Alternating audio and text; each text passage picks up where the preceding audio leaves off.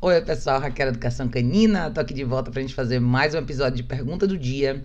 E hoje vou responder uma pergunta super bacana que veio da Sheila pelo YouTube, que tem tudo a ver com a questão de liderança. E é um assunto que eu já falei algumas vezes, mas eu acho que vale a pena a gente refrisar, principalmente levando em consideração a pergunta que a Sheila fez aqui. Então, a pergunta que a Sheila fez foi aqui pelo YouTube. Deixa eu dar um zoom para vocês verem aqui. Ela falou assim: Raquel, primeiramente adoro seus vídeos. Bom, percebi é, que o problema do meu cachorro, na verdade, sou eu. Não sei me impor para ele. Você poderia falar mais sobre a questão de liderança e como desenvolver isso? Estou estudando bastante sobre inteligência emocional para melhorar essa questão em mim.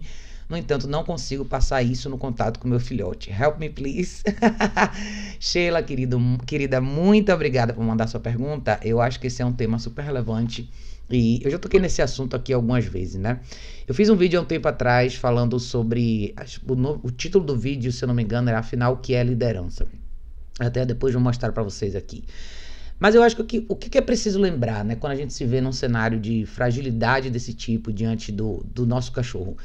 Na verdade, não é, isso não tem necessariamente a ver com o cachorro em si, tá? Eu já falei isso outras vezes aqui. Eu acho que as pessoas que têm esse problema, essa fragilidade ao extremo, são pessoas que hoje, hoje eu categorizaria como pessoas que são vítimas de uma de um processo que tem acontecido na, na esfera social da gente, né?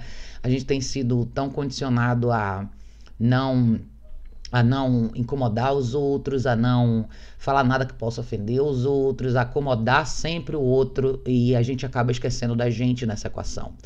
Eu acho que uma coisa importante para a gente falar é assim: muita gente gosta de, de vender a ideia de que o trabalho com cães é um trabalho só na esfera colaborativa. Existe a esfera de colaboração entre você e o cachorro, mas é super importante a gente fazer a diferença entre deixar clara, né? A diferença entre colaboração e, e, hierarquia, quem é quem nessa equação, tá? Como é que você define essa colaboração? Acho que muita gente, eu não sei se é o seu caso, tá, Sheila, mas vou mergulhar um pouquinho nesse assunto que eu acho que é importante. Então, quando você traz um filhote, um cachorro para casa, e a primeira coisa que passa pela sua cabeça é: eu vou trazer esse filhote para morar comigo aqui na minha casa. Então eu não vou apresentar nenhuma restrição, porque na minha cabeça eu quero que o filhote se sinta à vontade. Vamos pensar só nesse pedaço da moeda, só para vocês terem uma ideia de como tudo isso funciona, né? A gente imagina isso como sendo eu quero dar para os cachorros os mesmos direitos que eu. Eu quero que ele se sinta parte da família, eu quero que ele se sinta igual. A partir do momento que você permite que isso aconteça, já a esfera já não está mais na igualdade. Você já reduziu o seu papel para que o seu cachorro tenha mais espaço. Então veja o seguinte: aos olhos do animal, ele entra na sua casa e não existe nenhuma restrição, não existe nenhuma regra. Ele pode fazer o que ele quiser e não existe nenhuma consequência. O que, que você acha que vai acontecer, tá? Como que você acha que essa balança vai equilibrar? Todas as vezes que a gente faz isso, a gente, de uma forma ou de outra, na intenção, consciente ou não, de acreditar que a gente está trazendo essa relação para uma balança, para uma balança de igualdade, na realidade a gente está se diminuindo. A realidade é o seguinte, gente, não existe nenhuma relação justa sem, nenhum, sem um certo grau de liderança, sem a gente especificar até onde vão os nossos limites, para que a gente possa de verdade vir em harmonia com o outro, seja uma pessoa, seja um cachorro, seja quem for. E eu vou dar alguns exemplos aqui na esfera dos cães, tá? Vamos supor, seu cachorro está com você na sala e o seu cachorro deita do seu lado no sofá. Só que você quer mais espaço no sofá.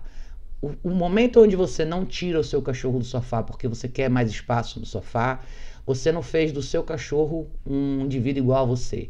Você fez do seu cachorro uma prioridade sobre você. Porque agora é você que está abrindo mão do que você quer para dar ao seu cachorro o que você acha que ele quer. O mesmo acontece quando você sai na rua para caminhar com seu cachorro. Se você sai na rua para caminhar com seu cachorro e o seu cachorro sai vasculhando a rua inteira, cheirando todos os postes, pulando em todas as pessoas, latindo para todas as pessoas da rua, e você não faz nada, você imediatamente se torna desigual. Seu cachorro está fazendo um caos lá fora porque ele quer e você não fez nada. Logo, você se torna o servo, vamos dizer, de uma situação que você mesmo criou. E é frustrante, você se sente mal, mas você que criou isso. Você, a não intervenção é uma forma de submissão. Então, às vezes a gente acha que a gente está fazendo o melhor pelo cachorro, é, carregando essa, essa, essa relação com, emo, com emoções nossas, né? Essa palavra, eu acho que é uma palavra muito pesada, as pessoas trazem muito a palavra emoção para a esfera de comportamento, comportamento canino e é uma coisa que eu não gosto de fazer, porque eu acho que a gente faz muita projeção em cima disso.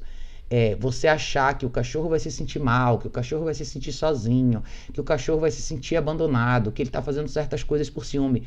Tudo isso são emoções humanas, são reações humanas na realidade, tá? São formas de expressão humana que a gente projeta nos cachorros. Então, só o fato da gente falar em emoção quando a gente lida com o cachorro, na minha visão, já é errado. São simplesmente reações que o cachorro tem, porque ele que é permitido a ele ter, simples assim, tá?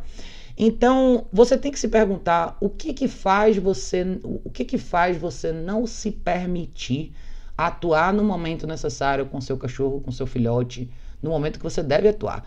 E eu digo isso, por exemplo, muitas pessoas têm esse problema quando, a gente introduz a caixa de transporte. Então, às vezes, as pessoas hesitam e relutam em, ah, eu comprei a caixa, mas ainda não fechei a porta. Por que não fechou a porta? Porque a porta é uma restrição e a, você tem medo de quê? Que o cachorro chore, que o cachorro grite. Você acha que vai acontecer o quê? Então, a falta de expressão de liderança das pessoas, de, de, uma atuação na esfera de liderança, tem muito a ver com projeção humana. Muito a ver mesmo. Por isso que eu acho que eu sou tão objetivo nos meus vídeos e eu tento trazer as coisas para a esfera mais clara possível. Cachorro precisa de regras, como nós precisamos de regras também, tá? Se trazer, é sempre importante lembrar, tá, gente? Quando a gente traz um animal para viver com a gente, a gente está trazendo um animal que tem que viver naturalmente num universo que não é natural, tá? Tudo na vida doméstica urbana é antinatural para o cachorro, tudo é. Então não adianta você ficar pensando na, coitado, mas ele deveria ter mais espaço, ele deveria ter isso, ele deveria poder correr solto, ele deveria poder fazer isso. Se você cair nessa vala de pensamento, você vai passar o resto da sua vida frustrada, porque você não vai poder dar para o seu cachorro o que você acha que ele gostaria de ter nesse universo natural. E você vai tentar compensar isso dando uma série de privilégios para um cachorro que vai fazer da sua vida um inferno. Essa é a realidade, tá? Eu, minha categoria, minha esfera de trabalho, eu trabalho todos os dias com famílias que têm dificuldades similares com seus cães. As coisas na esfera de comportamento canino e de adestramento não são complexas, não são. Elas são bem simples, mas elas dependem de um elemento, de um elemento básico que é a nossa percepção do que é viver com o cachorro. Não existe nada de errado em você apresentar restrição para o seu cachorro. Não existe nada de errado na fase inicial da sua vida com o cachorro você ter regras mais firmes. O seu cachorro está na caixa de transporte quando você não puder supervisionar. De repente você não quer que o seu cachorro suba no sofá, que suba na sua cama. Você não quer que o seu cachorro pule nas pessoas. Essas são as coisas simples, é o famoso feijão com arroz. Mas eu sei que é justamente aí onde todo mundo tem muita dificuldade. Outra coisa que eu acho que seria legal você você revisar e linkando uma coisa com a outra aqui é assim: como que você se comporta no universo sem cachorros? Vamos esquecer o seu cachorro um pouquinho e vamos pensar em você na sua vida real. Como é que você se relaciona com seus amigos? Como é que você se relaciona com sua família? Com o seu parceiro, se você tiver? Como é a sua relação de trabalho? O que, que eu quero dizer com isso? Por exemplo, você é uma pessoa que consegue sentar numa roda de amigos e expressar sua opinião sem medo de retaliação? Você consegue dar uma opinião contrária a outras pessoas de um grupo sem se sentir mal porque você não está concordando com todo mundo? Você sabe mostrar seu ponto de vista? No seu trabalho, você, você sabe fazer um bom trabalho sem necessariamente se tornar uma pessoa que não tem voz? A sua relação íntima, na sua relação de família, você consegue fazer a mesma coisa? Eu acho que a parte difícil da liderança para as pessoas é justamente, justamente essa, né? Todo mundo quer ter um poder de intervenção, todo mundo quer ter um poder de influência maior. Mas o que as pessoas não entendem é que pessoas que têm essas características são pessoas que não têm medo de ouvir opiniões contrárias, são pessoas que não têm medo de perder esse fator popular, popularidade aí, ou seja, ah, eu quero que todo mundo goste de mim. Não, eu quero que as pessoas escutem a verdade. Eu fiz um vídeo recente falando sobre essa questão da verdade liberta, que eu acho que é uma coisa importante para a gente lembrar, principalmente quando a gente fala de liderança aqui, né? Mas você nunca vai ser um bom líder se você só se preocupar em acomodar a, em acomodar a, o que as outras pessoas querem, sabe? Em, em, fazer todo mundo feliz. Se você for aquela pessoa que quer fazer todo mundo feliz, você vai ter muita dificuldade de entrar na esfera de liderança. E eu falo isso assim, como um grande conselho para todos vocês que ainda não estão lá. Existe um valor libertador em você, em você assumir a, a função de liderança. Primeiro, porque você se liberta. Você começa de verdade a ser quem você é. Você aprende onde está a sua voz, o que você realmente acredita, o que você pensa, o que você quer realmente dizer. A retaliação é uma consequência disso. é, são pessoas que vão discordar de você, que não vão gostar do que você falou, que vão falar coisas ruins para você, que vão te ofender. E aí?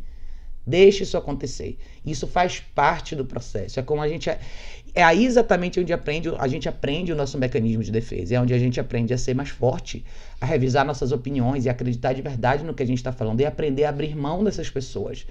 Então, quando a gente traz isso de volta para a esfera dos cachorros, pense o seguinte: se você só quer caminhar com seu cachorro na guia, eu quero poder caminhar todos os dias, duas vezes por dia com meus cachorros sem ter problema.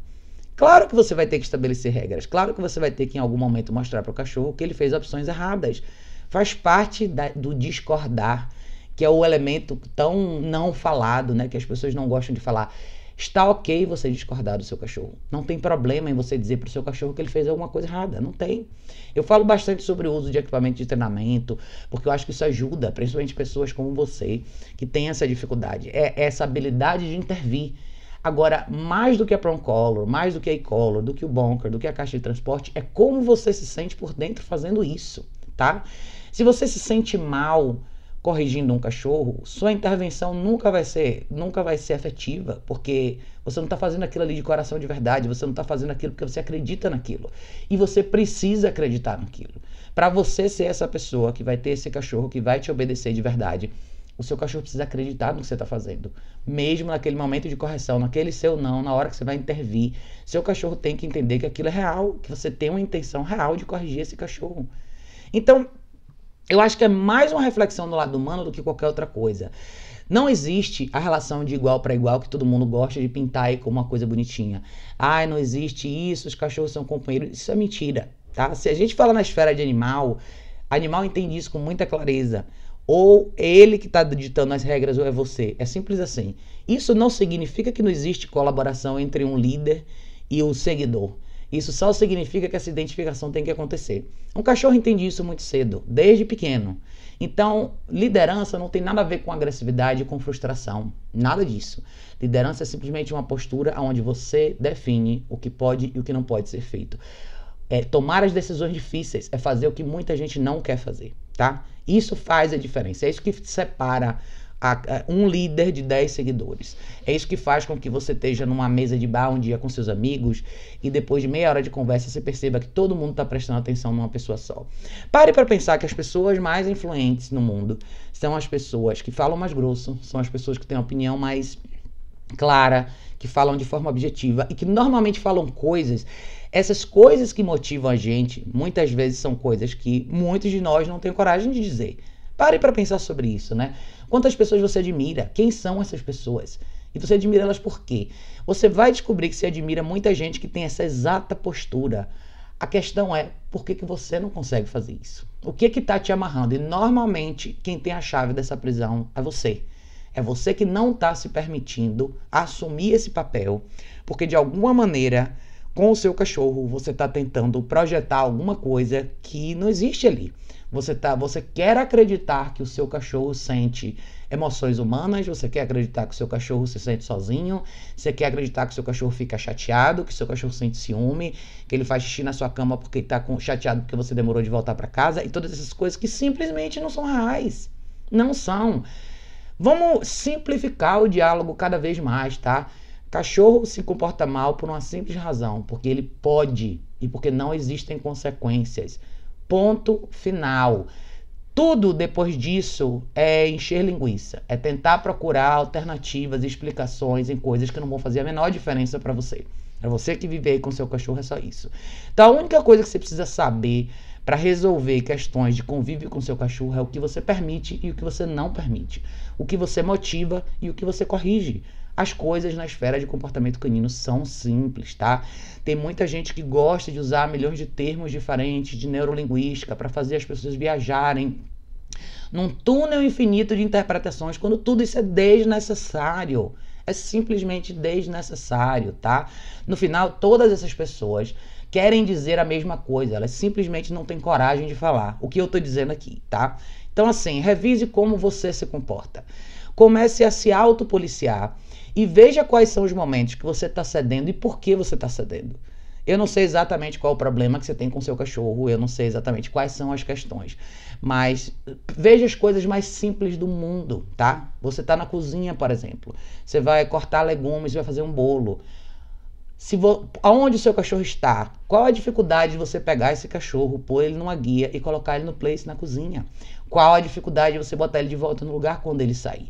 Qual a dificuldade de você manter ele ali enquanto você estiver fazendo essa atividade? O que que te bloqueia a fazer isso? O que, que faz você repensar se isso é ou não é uma boa opção?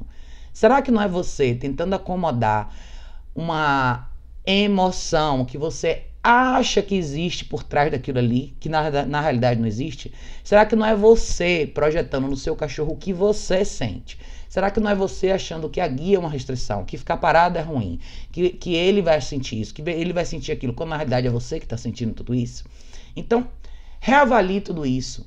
Cara, a liderança não é um papel difícil de assumir, mas ele requer coragem, objetividade, transparência e rasgar a, o papel de presente da fantasia. Não existe fantasia. Vamos olhar realidade, tá? Eu acho que os cachorros que vivem com pessoas que são mais fortes nesse sentido, que sabem aplicar as regras de liderança, são cachorros extremamente mais felizes. Esses cachorros domésticos urbanos que sabem conviver com as pessoas assim, são os cachorros que realmente aproveitam a vida. Eu tô te dando esse super conselho pelo seguinte: a longo prazo isso vai ser intolerável para você. A longo prazo, se você não assumir essa postura, você vai se tornar prisioneira do seu cachorro e o seu cachorro vai se tornar prisioneiro das suas restrições. Esse é um cachorro que você vai ter dificuldade de sair, de caminhar, de ter pessoas na sua casa com você e assim vai. Eu tava lendo agora aqui os comentários do YouTube tem se vocês olharem, sempre tem comentários que vão assustar vocês. Pessoas que criam cachorros soltos em casa e não podem receber visita porque qualquer pessoa que se move o cachorro ataca. Como que a gente chega até aí? Nenhum, ninguém pode chegar numa situação como essa sem pelo menos tentar intervir, tá? Então, está ok corrigir seu cachorro. Talvez esse seja um dos grandes motivos pelos quais eu falo tanto sobre equipamento de treinamento chame alguém para te ajudar. Colo eletrônico é um excelente equipamento para corrigir cães. A Proncolor um excelente equipamento para guiar cães. O Bonker é super útil todos os dias. Todo mundo tem uma toalhinha em casa. A caixa de transporte é uma excelente ferramenta de restrição, de, apli de aplicação de liderança, onde você permite que o seu cão fique no espaço. Então, existem milhares de alternativas. Mas só quem pode mudar você é você mesma, tá? Então reflita um pouquinho sobre isso, Sheila. Espero que te ajude. Tá dentro da gente essa habilidade. O que a gente precisa é soltar essas correntes da extrasensibilidade, é tirar essa fantasia que existe ao redor da esfera de vida com cães e trazer as coisas mais para a esfera real, tá? Eu tenho certeza que se você fizer uma reflexão assim, você vai começar a identificar aonde são os momentos da sua vida pessoal que você está falhando com você mesma, tá? Porque isso não é uma questão com seu cachorro não. O cachorro só traz só traz para a superfície coisas que a gente já tem que trabalhar na gente mesmo. Tá bom, querida? Espero que tenha te ajudado. Se você quiser me falar um pouco mais sobre o caso que está rolando aí, fica à vontade, deixa aqui nos comentários. Para todos vocês que tiverem dúvidas em relação a isso, fiquem à vontade para deixar aqui também, que vai ser um prazer a gente expandir um pouco mais sobre esse assunto, tá bom, pessoal? Beijo enorme. A gente se vê em breve no próximo vídeo.